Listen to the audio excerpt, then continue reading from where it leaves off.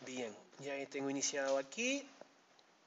Entonces, como les decía, en la presentación que tenemos a continuación, pues de manera muy somera voy a introducir ciertas cosas, tanto del análisis de poder, muy brevemente, y luego generalidades en cuanto al uso y la implementación de R y RStudio. Y obviamente muchísimas cosas las vamos a ver in situ mientras vamos practicando. ¿De acuerdo? Bien, respecto al análisis de poder, voy a repasar, como lo vamos a utilizar, como la, siguiente, lo siguiente que vamos a hacer es aprender, aprender a utilizar esta herramienta G-Power, análisis de poder, voy a recordar algunos conceptos que vimos ayer para que los tengan más frescos. ¿no? Recuerda que cuando apliquemos o vayamos a jugar con análisis de poder, el tamaño de la... tenemos un n, que es la replicación, ¿de acuerdo? El nivel de replicación que es n, que nos va a determinar el tamaño muestral. ¿Qué era alfa? Que por convenio fijábamos en 0,05, 0,01, es nuestro nivel de confianza, que va a determinar la confianza de nuestra inferencia. Si yo fijo por convenio un alfa de 0,05, significa que tengo una confianza del 95%. Si mi alfa es de 0,01, es decir, hago la, inferencia más restrictiva, más conservadora, ¿eh? la confianza será del 99%. ¿De acuerdo?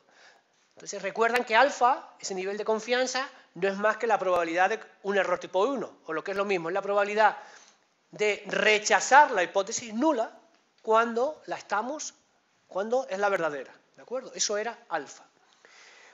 El poder del análisis, 1 menos beta, es la capacidad para detectar diferencias significativas. Es decir, es la probabilidad de escoger la hipótesis nula, o lo que es lo mismo, rechazar, perdón, de escoger la hipótesis alternativa, o lo que es lo mismo, rechazar la nula, cuando la verdadera es la hipótesis nula. ¿Vale? Es, como les digo aquí, la capacidad para detectar diferencias significativas. Y una de las cosas que vimos ayer es que para cualquier tipo de análisis estadístico, para yo aumentar el poder del análisis, lo que tengo que hacer que es aumentar mi n. Pero claro, yo no me puedo permitir el lujo de aumentar n hasta el infinito porque estoy limitado por recursos, tiempo, dinero, etc., etc., etc. ¿Vale? Entonces, este tipo de herramienta nos va a permitir valorar hasta qué punto ¿eh? Yo puedo jugar con mi replicación para generar diferentes contextos de poder. ¿vale? De hecho, perdón, antes de, esto, el, siguiente concepto que ayer expliqué era el concepto de tamaño del efecto. ¿De acuerdo? Que vimos que se, solía representar con la F y que lo que está representando es la diferencia esperada en las medias de los tratamientos o grupos. Eso era el tamaño, el tamaño del efecto y que en muchas ocasiones se expresa como tanto por uno o porcentaje. Con esta herramienta gratuita G-Power vamos a poder fundamentalmente trabajar con dos situaciones, con dos escenarios.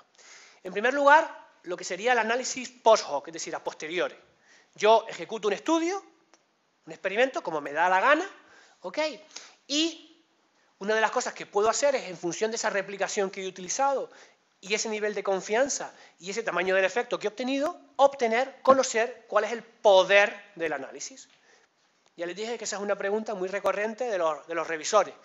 Oiga, ¿cuál es el poder de su análisis? O usted ha fallado porque el poder de su análisis es bajo. Entonces, con esta herramienta vamos a ser capaces de conocer el poder del análisis. ¿Vale? como se lo digo aquí. Cuidado que la relación entre el poder y alfa o incluso f no es siempre ¿eh? fácil o intuitiva. Vamos a jugar con eso cuando veamos el tipo de, cuando jugamos con el tipo de, con el G-Power, ¿vale? Entonces, primer escenario importante en el que vamos a utilizar este tipo de herramienta es ejecuto un estudio y calculo cuál es el poder. Se acabó. Y el segundo tipo de análisis es, no sería post-hoc, sino sería pre-hoc, es decir, con anterioridad a ejecutar mi estudio o experimento. En particular, para seleccionar o conocer mi nivel de replicación n a partir de un cierto tamaño del efecto que yo puedo intuir, por ejemplo, en base a un estudio piloto que puedo desarrollar, un nivel de confianza que puedo establecer y un nivel de poder que yo puedo establecer. ¿Vale? Entonces, yo al G-Power le voy a decir, oye, mira, para un nivel de confianza del 95% y, una, y un poder de 0,9, 0,8, 0,7 voy jugando, y conociendo que el tamaño del efecto es alto, dime cuál es el número de réplicas que yo tendría que... O sea, dime cuál es el número de réplicas. Y te va a decir, pues mira, si usted quiere este poder, con este tamaño del efecto, necesita 40 réplicas. Pero si en vez de un poder de 0,7 usted quiere un poder de 0,5, en vez de 40 réplicas, pues es suficiente con 25 réplicas. ¿Vale? Eso lo veremos también con el ejemplo. Este me parece sobre todo más interesante que el anterior porque es algo que podemos hacer con anterioridad a diseñar un estudio. ¿vale? Del tamaño del efecto, simplemente si hago un estudio piloto o tiro de bibliografía, puedo tener, puedo tener una sospecha, ¿no? ¿Eh? Una, una, cierta indicación. El nivel de alfa generalmente lo vamos, lo vamos a establecer en 0,05, 0,01, ¿vale? Con lo cual podemos jugar con cómo podemos tener diferentes escenarios de poder frente a diferentes valores de n. Incluso podemos tener una tabla, ¿no? Si yo quiero un poder de 0,9 necesito 80 réplicas. Si quiero un poder de 0,8 quiero 70 réplicas. Si quiero un poder de 0,5 necesito 30 réplicas. Es algo que puedo tener. Claro, y ustedes me podrían preguntar ahora, ¿y cuál es un poder bueno? 0,5, 0,6. Hombre, 0,2 es bajo. 0,3 es bajo. 0,7, 0,8 está bien. Pero de nuevo, aquí cada maestrillo tiene su librillo, no hay nada establecido. ¿vale? Entonces, volvemos un poco a lo de siempre. ¿Vale?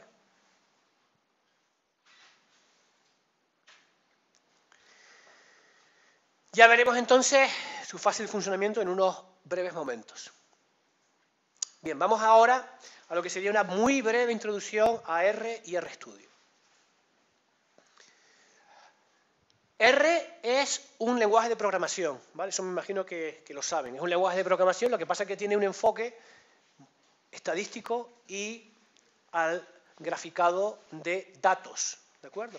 Hay otros lenguajes de programación, como puede ser Python, o como puede ser C++, o como puede ser Java, que tiene otro tipo de orientaciones. Entonces, ¿qué es lo que ocurre? Que R ha sido diseñado inicialmente por estadísticos. Por eso tiene una gran aplicabilidad directa a lo que son herramientas estadísticas y obviamente herramientas de modelización y de graficado. ¿De acuerdo? Primer elemento o primera cuestión que les, quiero decir. ¿Qué es RStudio? Bueno, RStudio es lo mismo que R, lo que, forma, lo que pasa es que es una forma más funcional, más fácil de gestionar toda la información ¿eh? dentro del uso de R, ¿no? a la hora de implementarlo. Es una especie de interfaz que me va a unificar todos los elementos con los que yo voy trabajando en R. ¿vale? Desde los datos que voy a importar, al código que voy a generar, a la consola donde voy a ir generando todo ese código, los gráficos, los objetos, etc. etc. ¿vale? Es una forma de simplificarme la vida, por así decirlo. ¿vale? De tener en una simple pantalla reunido un montón de cuestiones y elementos con los que voy a ir trabajando. Es una forma de simplificar, al fin y al cabo. Una interfaz unificada. De hecho, la pantalla de RStudio se divide en estos cuatro elementos. En primer lugar, tendríamos, vamos a empezar por este, que es el más bajo, que es la consola. ¿Qué es la consola? La consola es simplemente un editor de texto donde voy emitiendo el código.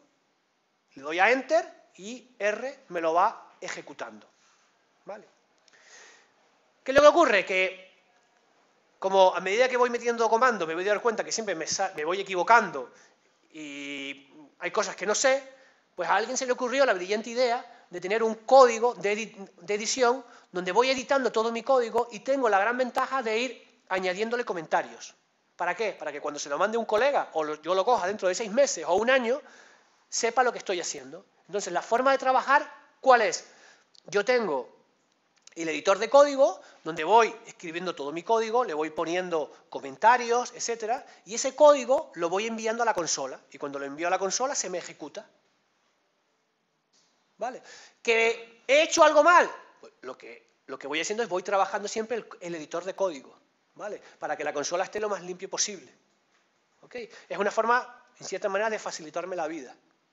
¿Vale? O sea, yo no estoy obligado a utilizar el código, eh, utilizar eh, este editor de código. Directamente podría escribir todo en la consola, pero ni puedo meter comentarios, ¿ok? Y estaría constantemente fallando y con problemas. Entonces, para evitar ese tipo de cosas, ¿qué es lo que yo genero? Todo el código en el editor de, código. Y a todo ese código que voy generando es a lo que se denomina script, que muchos de ustedes seguro que ya lo saben. Oye, pásame el script para hacer tal cosa. Yo cojo, te mando por mail, eh, Alejandro, pásame el script para hacer esto. Le mando el script, que es todo ese código que yo he hecho, por ejemplo, para un modelo mixto. ¿Vale? ¿Qué es lo que va a hacer Alejandro cuando lo recibe?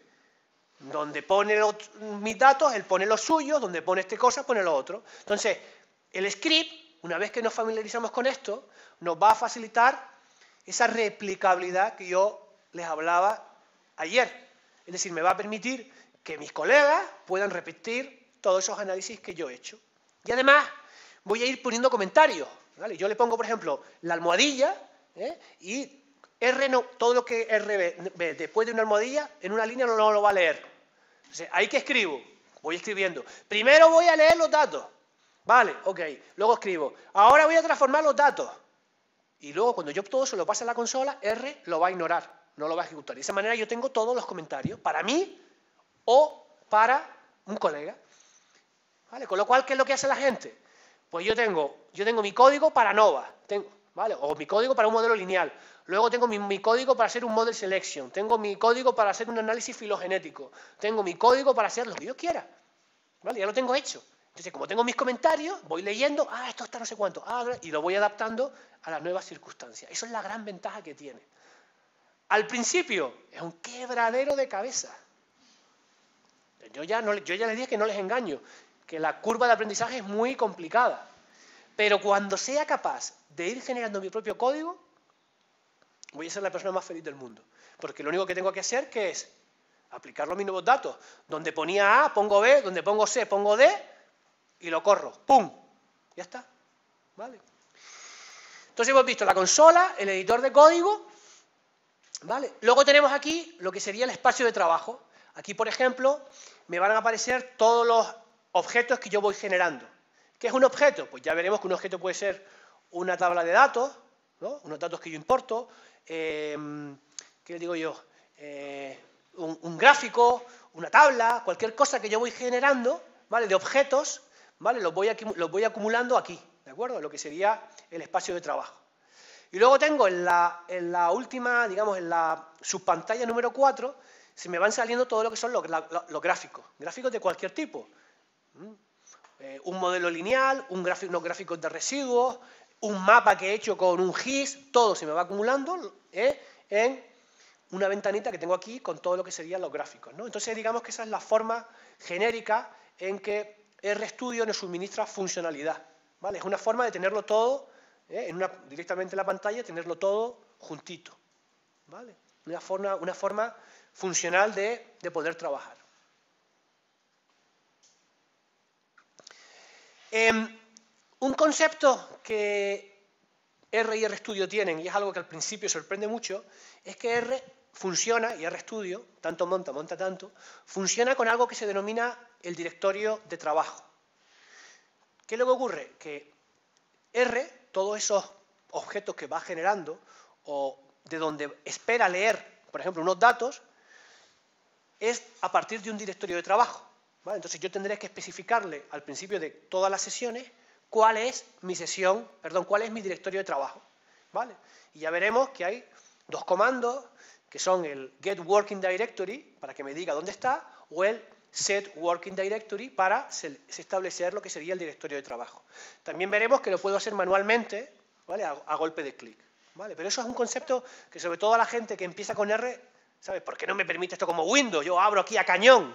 No, no, no porque R está esperando una carpeta donde, de donde va a leer todo y esa carpeta va a generar todos esos objetos. ¿vale? Que genere una tabla, me la va a guardar ahí. Que genere un vector, lo va a guardar ahí. Que genere una gráfica, la va a guardar ahí. ¿Vale? Por defecto. Ese es el concepto de directorio de trabajo. Eh, hay un montón de chuletas, ¿vale? De chuletas para hacer cualquier tipo de cosa. Que quiero hacer un gráfico con ggplot, me voy aquí y me descargo todo tipo de chuletas para hacer eh, gráficos. Que quiero hacer modelos lineales, pues mira, tengo todas esas cosas que yo les ponía antes, todas esas chuletillas que yo le ponía. Pues la cantidad de recursos que hay en este sentido, ya les digo que es, brutal, ¿no? Entonces tienen aquí todos los cheat pues que quiero hacer, eh, quiero hacer, ¿qué te digo yo? Mapas con un sistema de información geográfico. Venga, me voy aquí. Entonces, tenemos toda la información disponible ahí, ¿vale? Eh, el script para mí es lo más importante de todo, ¿vale? Porque es ese archivo, ¿vale? Que lo puedo guardar, si quiero, como TXT, y en cualquier momento lo puedo abrir, por ejemplo, con el WordPad o el Word, editarlo, añadirle lo que yo quiera, ¿de acuerdo? Digo que es el más importante porque le voy poniendo notas, ¿vale? Que cuando lo mande a la consola, R no me lo va a leer, y de esa manera me va a permitir esa replicabilidad y me va, a permitir compartirlo con colegas para que podamos trabajar en lo mismo o para que una persona pues, pueda adaptar ese código a sus datos particulares. ¿De acuerdo? Entonces el script, ya les digo, que es un archivo que lo podemos guardar, se puede guardar, hay otros formatos, pero se puede guardar como TXT, para yo abrirlo en un WordPad, en un Word, ponerle lo que yo quiera, ¿sabes? Me lo puedo llevar igual a un paper, a partir de ese código yo puedo generar los métodos, por ejemplo, porque en ese script yo voy a tener pues, la forma en la que yo he graficado, la forma en la que yo he analizado los datos, todo. Entonces me lo puedo llevar, por ejemplo, a material y métodos de un paper y ya voy, ¿vale? Me sirve como guion, como esquema. ¿Ok? Inicialmente R es una calculadora, es decir, yo cuando nos metamos ahí pongo 3 más 2, enter, 5. 7 por 8, 48. Square root de 49, 7. O sea que inicialmente R es una simple calculadora. Bien, muy importante, muy importante este punto. R funciona con objetos. Es decir, R siempre, cuando aplica una función, se la va a aplicar a un objeto. ¿De acuerdo? Y en R hay cuatro grandes tipos de objetos, que son vectores, data frames, matrices y listas. Para nosotros, los más importantes van a ser siempre los data frames. Un data frame no es ni más ni menos que un archivo de Excel de los de toda la vida. Como el que vimos ayer, ¿se acuerdan? Que tenía una serie de variables en columnas y cada variable era de su padre y de su madre. Unas variables eran continuas, otras eran categóricas, otras eran binarias, otras podían ser lógicas, verdadero o falso, lo que Dios quiera. ¿Vale? Ahora indagaremos un poco más en qué diferencia hay entre un vector, un data frame, una matriz y una lista. Bien, entonces, a esos objetos, ¿vale? A ese vector, a ese data frame, a esa matriz, yo le voy aplicando comandos, funciones, que van a, a su vez a contener una serie de argumentos que tendré que ir especificando. Un argumento, por ejemplo, puede ser, ¿quiere usted ignorar los valores perdidos? Por ejemplo, omit NA, igual true o igual false. Eso es un argumento.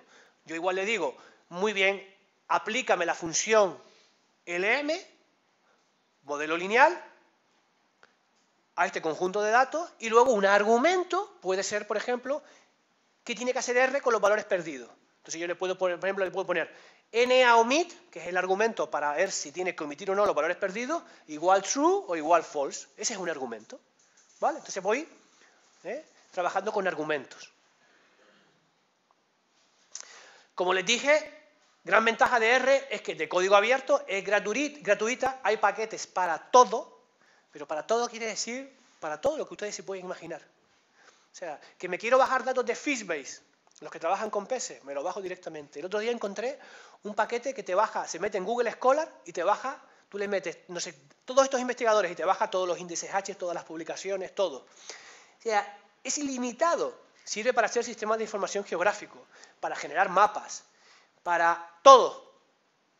¿Vale? Ya les digo que R funciona para todo. Machine Learning, bueno, un montón de cosas de estas que se estilan mucho en la actualidad. ¿no?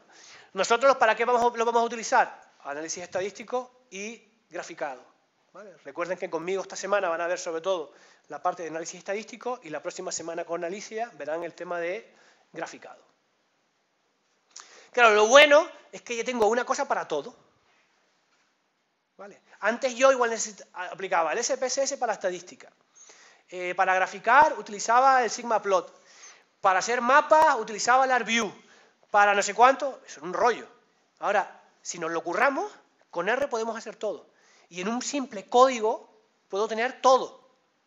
¿Eh? O sea, puedo, tener mis gráficos, mis análisis univariantes, mis análisis multivariantes, mis mapas, absolutamente todo. Esa es una de las grandes ventajas que tiene el trabajar con esto, con este lenguaje de programación. Ya le he dicho que al principio es muy complicado, ¿vale? Y hay que ser tremendamente perseverantes si queremos aprender. Si no, ya saben que vuelta a la casilla de salida es muy fácil, ¿no? Al principio la curva de aprendizaje es muy dura, vemos que no aprendemos, no aprendemos, no aprendemos, y si lo dejamos, ¿qué le ocurre? Volvemos a la casilla de salida, vuelta a la casilla de salida, y nunca nos arrancamos, ¿vale? Por eso yo decía antes la, coña de déjense de ver series por la noche y pónganse con tutoriales de YouTube de R. O sea, yo no les voy a engañar, o sea, esto, esto es como aprender una lengua, ¿vale? Entonces, depende de ustedes, no se engañen. O sea, si se van a meter, se meten de verdad. Si no, no se metan, porque si me meto una semana para luego pasar un mes, volverme de nuevo tres días, va a ser muy complicado que aprendan, ¿vale? Entonces, intenten ser perseverantes si realmente quieren aprender bien. Claro, Google va a ser nuestro amigo y también igual nuestro enemigo porque la cantidad de información que hay en Internet para ejecutar cualquier tipo de gráfico, análisis, mapa, lo que ustedes quieran es brutal.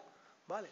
Yo siempre lo que recomiendo es tener colegas que en un momento determinado te pueden, oye, pásame el script para hacer este tipo de cosas, para hacer cálculos de diversidad funcional o para hacer cálculos de diversidad filogenética. Ah, mira, usa este paquete y usa este tipo de cosas.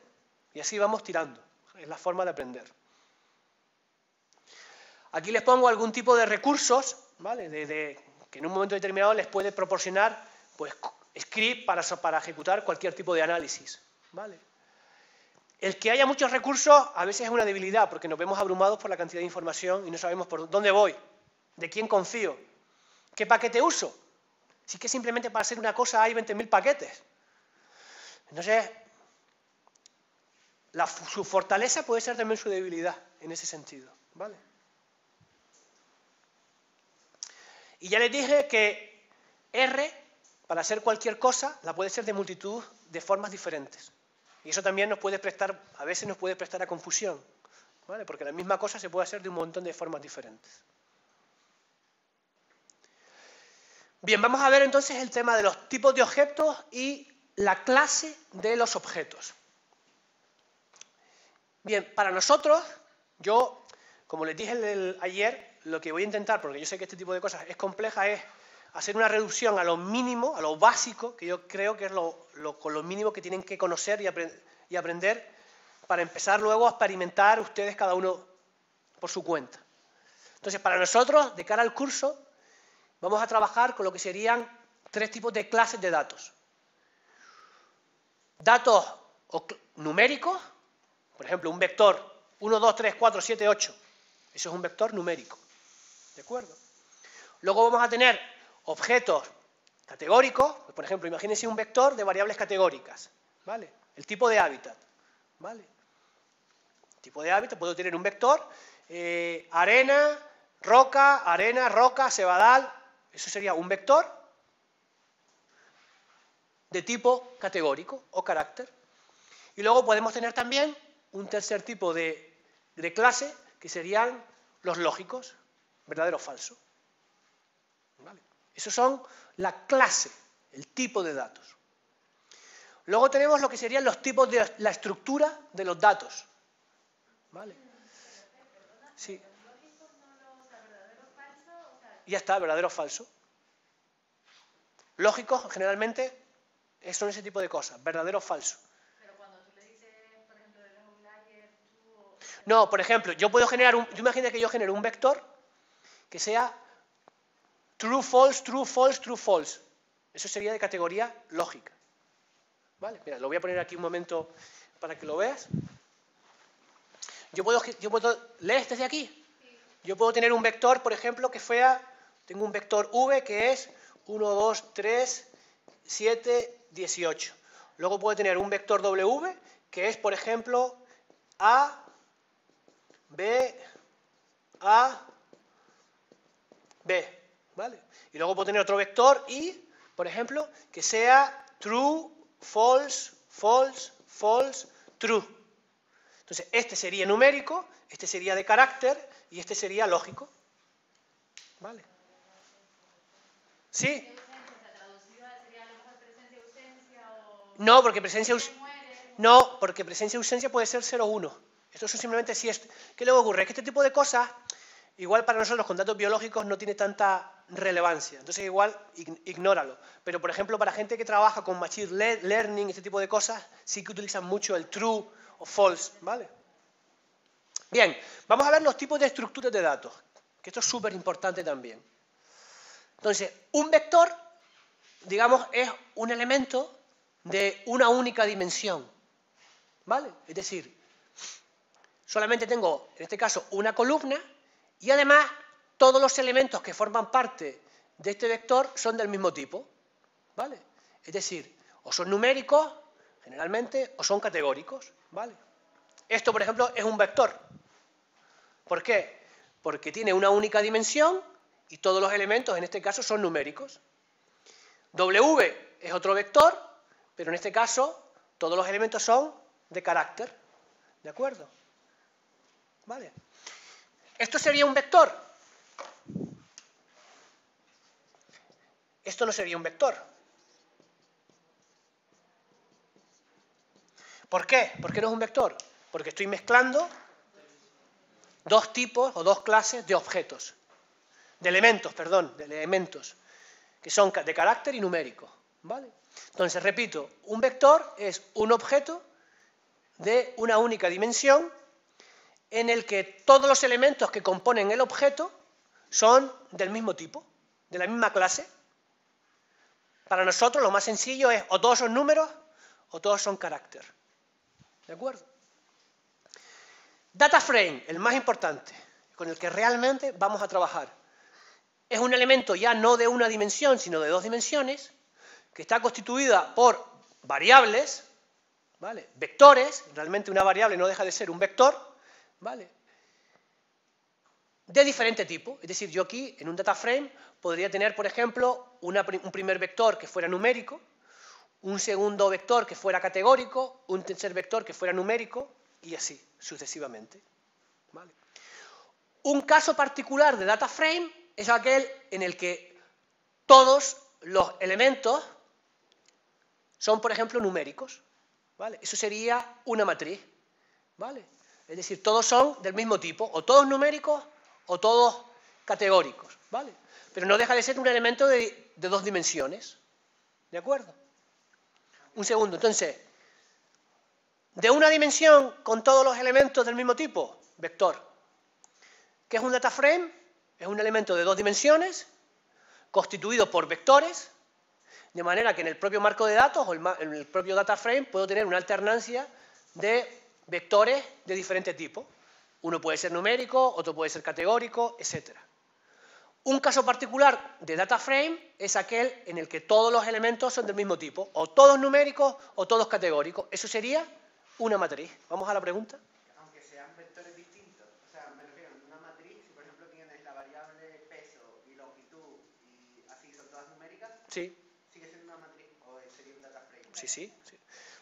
Una matriz, Pero en la práctica, ¿qué le ocurre? Que en la práctica tú con lo que vas a trabajar es con data frames. O sea, para nosotros en la práctica, ya le dije anteriormente, en el 90% de las ocasiones o 99% de las ocasiones vamos a trabajar con data frames. Es raro no sé, igual la gente que trabaja con cosas de física, que trabajen con matrices, que todo sea numérico. Puede ocurrir, ¿vale? Y con vectores es raro trabajar, ¿no? Sí que lo vamos a ver en clase porque son elementos muy fáciles de trabajar, porque solamente tienen una dimensión. ¿De acuerdo?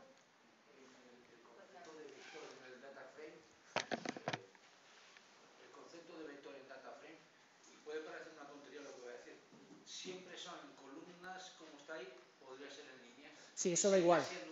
Sí, eso da igual, ¿vale? Como tú te organizas la información, ¿vale? Generalmente en R, como vamos a trabajar nosotros siempre, es que la primera fila va a contener las etiquetas de la variable. ¿Vale? De hecho, todos los ejemplos están hechos así, que es la forma en la que la gente convencionalmente trabaja.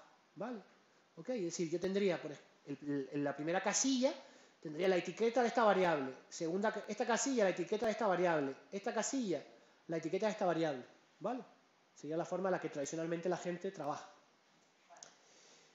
Como les he dicho, nosotros básicamente vamos a trabajar con data frames, que al fin y al cabo es la forma en la que vamos a leer archivos de Excel. Por eso yo le di ayer esa, mini clase de Excel y le dije que vamos a partir de archivos de Excel.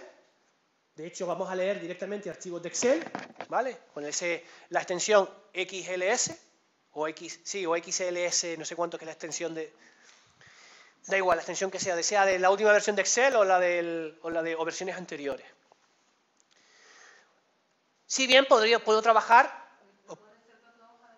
Sí, puedo guardarlo como de todo tipo. Puede ser CSV, coma separated values, puede ser TXT, separado por tabulaciones, puede ser cualquier tipo de cosa, ¿vale? Fíjense que ahora RStudio hasta lee datos directamente de SPSS, que son, creo que la extensión es .sap, lee datos directamente de Stata, o sea que hoy en día la conectividad que tiene RStudio es brutal. O sea que problemas de lectura raramente vamos a tener, ¿de acuerdo? Em, aquí tienen otra forma de ver lo mismo que les he dicho, vector, una dimensión, data frame, matrix, y que luego ocurre que hay ocasiones en que yo puedo tener un array, ¿vale? Son como data frames que forman parte, un conjunto de data frames que forman parte del mismo elemento. ¿vale? Yo puedo tener un paquete, un conjunto de data frames que agrupo en lo que sería un array. ¿vale? Y una lista incorpora todo, vectores, array, data frame y list. ¿vale? Es decir, yo podría construir una lista como un conjunto, por ejemplo, de arrays. ¿vale? Eso en la práctica ninguno de ustedes lo va a hacer, yo jamás lo he hecho. Pero hay veces, hay ocasiones que sí. ¿vale? Sobre todo, por ejemplo, cuando trabajamos con sistemas de información geográfico, que trabajamos con bases de datos muy complicadas, con muchas capas de información, pues igual podemos trabajar con este tipo de cosas, ¿vale? Pero nosotros de cara al curso, lo cara a lo sencillo, vamos a trabajar sobre todo, fundamentalmente, con lo que son data frames, ¿de acuerdo? Elementos de dos dimensiones, como pueden ver, tengo, filas y columnas, constituidos por vectores de diferente tipo, ¿vale? Eh, ya les comenté antes que cuando yo instalo el R o el RStudio, en el core, en el base de R, vienen un montón de paquetes ya instalados. Y luego todo hay toda una paquetería, que yo de hecho en el email que les puse les dije que instalaran, de programas que necesito instalar, ¿vale? Son lo que se denominan paquetes contributed. Necesito instalar y luego cargar. Y que directamente en RStudio me lo descargo de lo que es el CRAN, que es The Comprehensive R Archive Network, esto es el, acrónimo, lo que significa el acrónimo CRAN, o bien hay otro repositorio que es GitHub. ¿Vale? Entonces, pues siempre los paquetes me los voy a bajar directamente, bien del CRAN o bien de GitHub. ¿De acuerdo? Bien, ya les dije que mañana les haré una breve introducción a R-Commander como primer paso para familiarizarnos con R. R-Commander es una Graphical User Interface, una interfaz gráfica de usuario, que lo que me va a permitir, ¿eh? me va a permitir es esto, básicamente es lo que se me genera R-Commander. Tengo aquí una serie de menús desplegables que puedo ir, eh, puedo ir trabajando a simple golpe de clic, como si fuera el típico programa de entorno Windows, y me va, generando me va generando en la consola todos los resultados directamente y al mismo tiempo me va generando el código. ¿vale? Con lo cual yo, aparte de ejecutar un análisis y obtener un resultado, puedo, ver cuál es el código para ir familiarizándome con ese código. ¿vale? Bueno, es un pequeño truco para el que quiera aprender. ¿vale? Hay gente que no lo usa, otros que lo usan al principio. Yo mañana le doy una breve introducción, el que quiera que lo use y el que no quiera que no lo use. ¿De acuerdo? Pero sí que creo que está ahí, ¿vale? Y hay ciertas personas que les facilita la vida. Entonces, pues yo como lo que quiero es facilitarles la vida con algo tan complejo, pues mañana se lo, se lo explicaré. Em, veremos mañana para RCommander, lo mismo pasa con RStudio, que vamos a importar archivos directamente de Excel o también se suele trabajar mucho con los comma separated values o también archivos con extensión TXT. Y la forma general, lo expliqué antes con la pregunta del compañero, es que generalmente lo que vamos a tener son las variables para cada una de las columnas, de manera que la primera fila de cada columna va a contener las etiquetas de cada variable. ¿De acuerdo? Esa es la forma convencional de trabajar y la forma en la que se van a encontrar estructurados los datos a lo largo del curso. ¿De acuerdo? Yo creo que esto casi todos suelen trabajar así, ¿verdad? Lo más estándar, es el sota, caballo y rey de nuestra vida. Eh, con RCommander veremos que se pueden hacer un montón de cosas, ¿no? Importaremos, leeremos los datos, le podemos especificar directamente, esto por ejemplo es importante, el tema del símbolo decimal, ¿no? Porque eh, en lengua inglesa el símbolo decimal es un punto y en lengua, en lengua española, castellana es una coma. Y eso hay veces que nos puede generar una chorrada como eso, hay veces que nos puede generar quebraderos de cabeza. Entonces, tener cuidado de ese tipo de cosas, ¿vale? Eh, fíjense que cuando, ya sea en RCommander o en RStudio, importemos directamente nuestros datos, lo primero que va a hacer es generar un objeto. ¿vale? Por eso yo le decía que R siempre va generando objetos. Es decir, esos datos que yo importo a RCommander o a RStudio va a tener un nombre. ¿eh? Ese primer objeto va a tener un nombre. ¿vale? Y va a ser el primer objeto que se me va a ir generando. Yo voy trabajando con ese objeto y puedo ir generando esos objetos, otras tablas, gráficos, todo eso son objetos para R y lo va a ir acumulando en el directorio de trabajo. ¿Ok? ¿Vale? Tenemos claro el concepto de objeto. Entonces tenemos el objeto, la estructura de ese objeto, ¿cuál puede ser? Data frame, vector, matriz. Y la clase del objeto, numérico, de carácter o lógico. ¿Vale? Eso es importante, porque si no luego Importante que, nos grabemos eso a fuego en la cabeza. Bien, y ya veremos con RCommander que podemos visualizar los datos, hasta los podemos editar directamente. Generar nuevas variables, transformar y les enseñaré una estadística básica y gráficas básicas que se pueden hacer directamente con RCommander. Eso, como les digo, lo veremos mañana. Em, aplicaremos con RCommander algunos técnicas de estadística univariante, haremos, haremos una estadística descriptiva, frecuencia, aplicaremos GLMs, ya mañana aplicaremos GLMs a golpe de clic. En un minuto, pum, pum, ya tengo un montón de GLMs ejecutados. ¿vale? Eso lo veremos mañana. Sí que una cosa importante, siempre cuando vaya a ejecutar cualquier GLM o cualquier análisis estadístico, obviamente tener claro mis factores, ¿no? quiénes son mis variables dependientes, quiénes son mis variables independientes, quién va a predecir qué, todo ese tipo de cosas. ¿Vale? Y bueno, mañana pues seguiré un poquito este esquema tradicional, ¿vale? Para ir viendo toda una serie de cosas, teniendo en consideración que todo va a formar parte de GLM. ¿Vale? Ya vimos en Excel el tema de las tablas y las pivot tables, ¿de acuerdo? Y aquí simplemente les pongo pues la forma en la que generalmente solemos tener organizados los datos, ¿no? Hay muchas veces que los datos tienen esa estructura como jerárquica, por así decirlo. Entonces, yo puedo tener un primer tratamiento A1 y en primer lugar tendré, si tengo un segundo factor B1, pues puedo tener, puedo tener los datos, las réplicas, para B1 y A1, luego para B2 A1, B3 A1 y así sucesivamente. ¿no? Entonces intentar siempre tener los datos relativamente bien organizados. Es lo único que quiero apuntar aquí. Pues lo único que nos falta es practicar, ¿de acuerdo? Y mañana practicaremos, haremos una práctica con RCommander y vamos a hacer todo. Como ya les decía, un poquito de estadística descriptiva, vamos a aplicar ya GLM, hacer alguna gráfica, etcétera, etcétera. Dime. Definir los factores, todo este tipo de cositas, ¿vale? Entonces, sin más preámbulos, como vamos de hora, son las 7. Hacemos ya una segunda paradita y ya lo que hacemos es nos metemos con eh, el G-Power y podemos hacer una pequeña introducción a RStudio, ¿vale?